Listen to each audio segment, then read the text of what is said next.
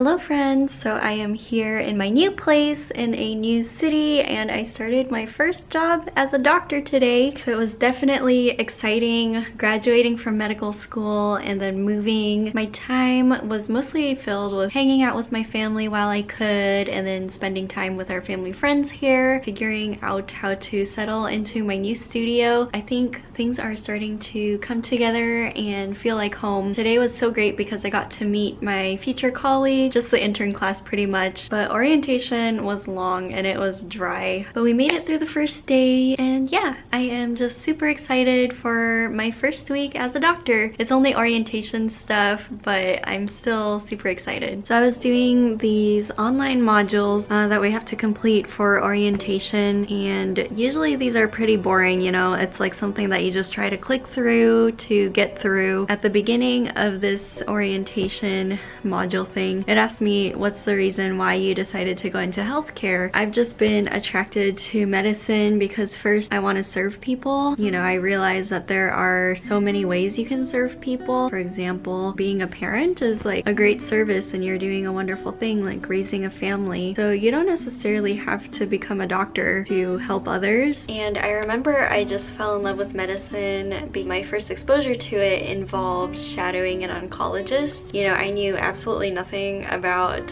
what a medical doctor does at the time. You know, I sat down with the oncologist and his patient. The patient was a lady who was recently diagnosed with an oral cavity cancer and I remember her clearly like looking around the room and saying like I know that I'm in a good place even though this is cancer and it's a scary diagnosis like I know each one of you in here is like here for a reason and I trust each of you. And she was like, she was looking at me when she said that. and I just remember feeling so touched that this woman was, you know, receiving some of the worst news of her life, but she decided to trust us who she had just met and I think it's just like a huge privilege to be able to walk with somebody like in some of their most difficult and vulnerable times. So like yes, I do want to serve people, but it's like I want to serve people in that sort of capacity. A really meaningful time and it kind of shaped how I came to understand how patient interactions should be like, why I decided to go to medical school. The vibe might be a little bit different, like going into surgery and being an intern, but I think the spirit is still there. Want to help people, didn't do a whole ton to earn people's trust and I just hope that during residency I become equipped with the knowledge and the skills so that the trust is well placed. Thanks for listening to me ramble. The great thing about living in a studio is I can roll out of bed and then make coffee and then get dressed all in one room. Today is my first day meeting all of the chiefs and I'm just so excited to meet the people who will be teaching me the things. But this morning I have my coffee and I am reading 2nd Timothy so just gonna read a quick chapter before I get ready. Today is Saturday and it's been a lovely start to the weekend mostly just relaxing and I watched the Try Guys documentary. I thought it was like amazing that these guys guys came from four very different backgrounds and then just like came together and was able to build a beautiful business where they have had the opportunity to express themselves creatively and try to put out a lot of positivity into the world and it was an encouraging way to start the weekend. So, chatted a little bit with my good friend Anna. She recently got a puppy. It makes me wish that I could get a dog but you know I live by myself and I'm about to be a surgery resident. I'm not sure if that's the best thing to do but I can live vicariously through it's my an exciting day because my chair came in from Ikea and I'm so excited to set it up.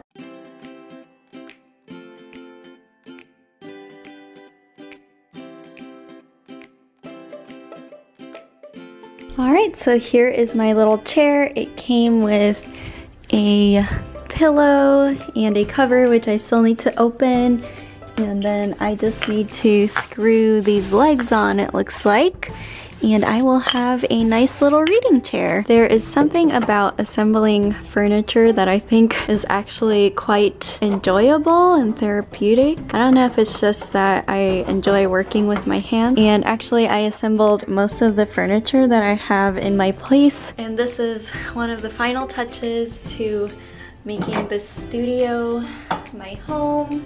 So it's a great feeling. All right, and there is my chair. And there's all the aftermath. Got these strawberries for sale at the grocery store and I'm just gonna cut them for some reason. I find it a lot more enjoyable to eat fruit when it's already sliced. A lot easier for me to eat vegetables because I tend to cook with vegetables, but fruits tend to be a little bit harder. So yeah, I'm gonna slice these strawberries and enjoy the orientation has been going pretty well. Yesterday, one of our chiefs ran through common call scenarios that we would get as general surgery interns. And then tomorrow we have our first skills lab. It looks like we're going to be doing some small flaps and I'm really excited to try those out. Right now, I am just working on this fundamentals of surgery course, studying a little bit about wounds. And there are also a couple administrative tasks that I need to finish before Friday starts and I'm on service taking care of patients and going to the operating room.